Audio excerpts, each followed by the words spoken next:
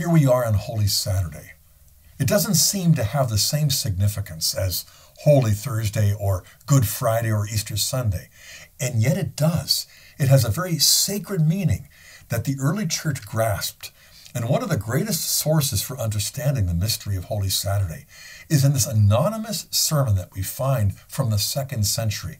I'd like to share it with you. What is happening? Today, there is a great silence over the earth, a great silence and stillness, a great silence because the king sleeps. The earth was in terror and was still because God slept in the flesh and raised up those who were sleeping from the ages. God has died in the flesh, and the underworld has trembled. Truly, he goes to seek out our first parent. Like a lost sheep, he wishes to visit those who sit in darkness and in the shadow of death.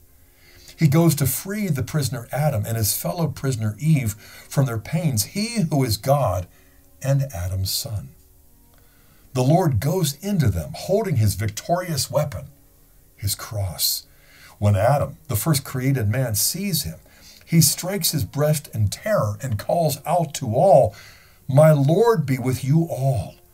And Christ in reply says to Adam, And with your spirit and grasping his hand, he raises him up, saying, Awake, O sleeper, and arise from the dead, and Christ shall give you light. I am your God, who for your sake became your Son, who for you and your descendants now speak and command with authority those in prison. Come forth, and those in darkness have light, and those who sleep arise. I command you, awake, sleeper. I have not made you to be held a prisoner in the underworld. Arise from the dead.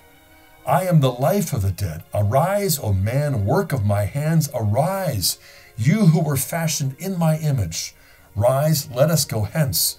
For you and me, and I and you, together we are one undivided person.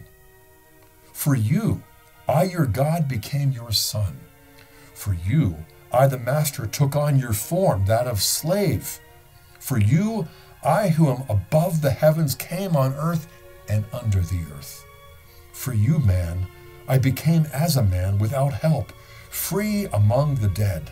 For you who left a garden, I was handed over to Jews from a garden and crucified in a garden. Look at the spittle on my face, which I received because of you in order to restore you to that first divine inbreathing at creation.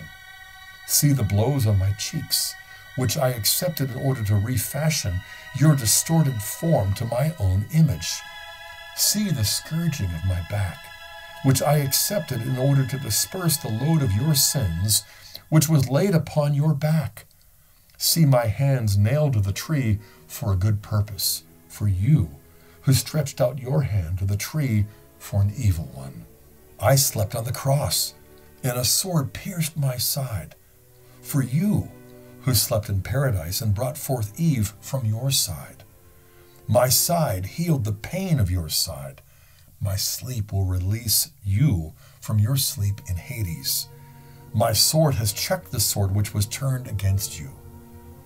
But arise, let us go hence.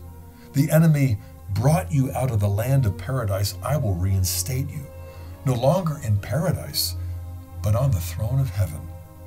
I denied you the tree of life, which was a figure, but now I myself am united to you, I who am life. I posted the cherubim to guard you as they would slaves.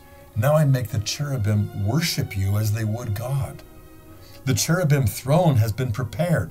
The bearers are ready and waiting. The bridal chamber is in order, the food is provided, the everlasting houses and rooms are in readiness. The treasures of good things have been opened. The kingdom of heaven has been prepared before the ages. How do we respond to such sacred mysteries as these? There is one way. Glory to the Father, and to the Son, and to the Holy Spirit as it was in the beginning, is now, and will be forever, world without end. Amen and amen.